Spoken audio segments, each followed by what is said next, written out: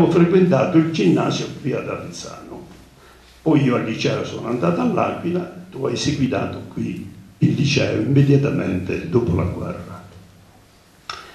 E ricordo un episodio.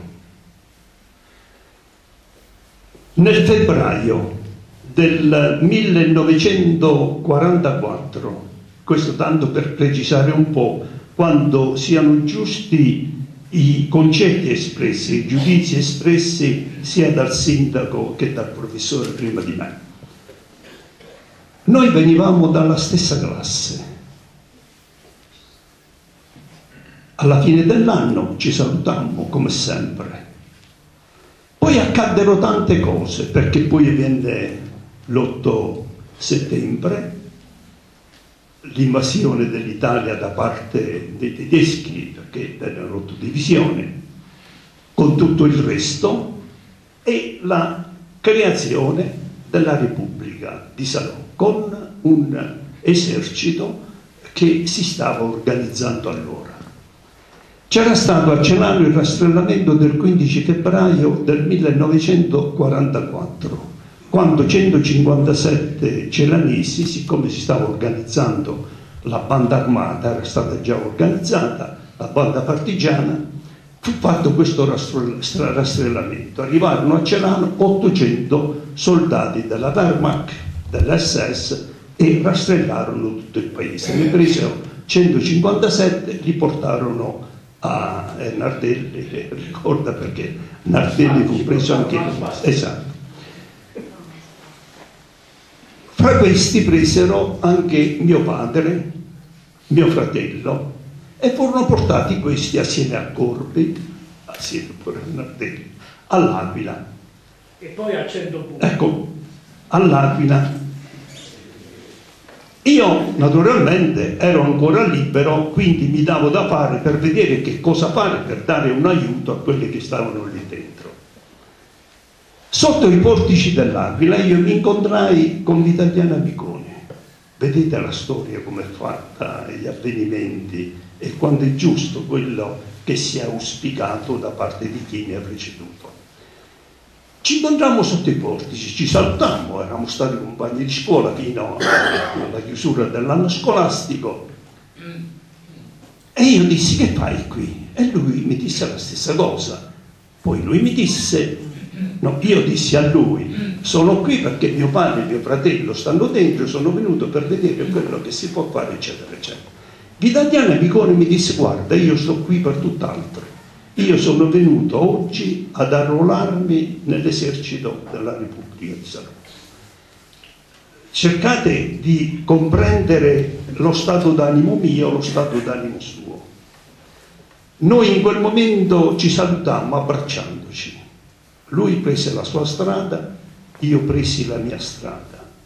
Io ho fatto il partigiano, lui ha fatto il militante di quell'esercito della Repubblica di Salò. È passato il tempo, è finita la guerra, noi ci siamo rincontrati sulla piazza di Celano. Io ero un attivista, un dirigente del Partito Comunista, lui allora era un attivista, un dirigente delle prime organizzazioni di destra, se ne so, l'uomo qualunque.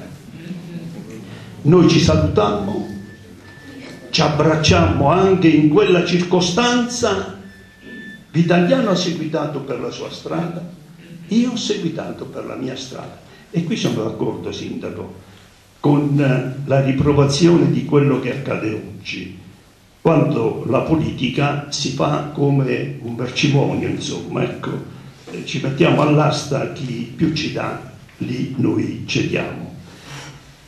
Questi sono i rapporti che ho avuto con lui, che abbiamo ancora oggi. Ci rincontriamo in questa circostanza per parlare di quel periodo e per dire che quelle fotografie che si vedono in questo libro non sono lì come cosa statica, perché poi anche le didascalie, le illustrazioni sono fatte così bene che spingono la gente a fare a, a loro volta una, una ricerca, perché basta aprire questo libro e trovare una qualunque pagina per vedere che è possibile richiamare, anzi no, che ci richiama alla memoria ciò che sotto il fascismo è accaduto. Badate, io sono stato contro eh, il fascismo perché eh, venivo da una famiglia eh, diretta da un uomo che era irriducibilmente socialista, non volle iscriversi al partito, al partito fascista, fu costretto ad emigrare più volte, emigrò in America, emigrò in Africa eh, per, per, aiutare la propria famiglia e, e, io ricordo che mio padre nel momento in cui allora leggeva il messaggero, nel momento in cui leggeva il messaggero lo leggeva un po' alla rovescia perché poi parlava con noi, ci indottrinava a casa e io resistevo, ero quello dei figli che resisteva di più perché nel contempo questo indottrinamento a me veniva anche a scuola, soprattutto da parte del professore di cultura militare, ti ricordi? Di cultura militare. E resistevo a quello che cercava invece di farmi capire mio padre. Ho resistito fino, eh, fino all'ultimo. Però attenzione, perché quando si dice che il fascismo ha avuto una, una, un consenso popolare, io ricordo che questa era una realtà soprattutto nell'anno 38-39. Eh, c'era una minoranza, c'era una minoranza che resisteva ed era una minoranza molto limitata. C'erano eh, le, le, masse, le folle, eh, osannavano, eh, osannavano perché è vero, eh, Mussolini aveva capito allora aveva capito quello che oggi per esempio ha capito molto bene Berlusconi, eh, cioè il fatto di, il fatto di mediare, eh, de, di utilizzare i mass media per impressionare la gente, per impressionare l'opinione pubblica. E tutto appariva liscio, tutto appariva come una cosa tranquilla in Italia, eppure, ecco, questi poi sono i risvolti.